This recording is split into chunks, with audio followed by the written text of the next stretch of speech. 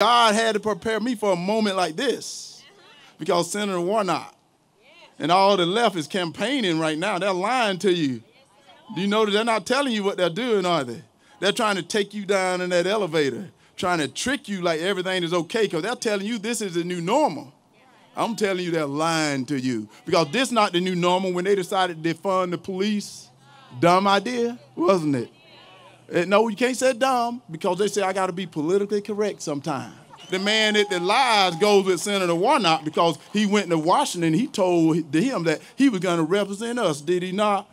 And he voted with Joe Biden 96% of the time, did he not? Because now we need leaders. Because I can tell you what, this is the greatest country in the world. But if we don't get leaders in Washington, we're going to give it away. And I'm not giving America away to anyone. So come at me what you might, because let me tell you, they come after me today, they're going to come after you tomorrow. But I can tell you right now, they can't take me down because I'm a bad man. And I can tell you that right now. God prepared me for this moment right here, and I'm ready to go.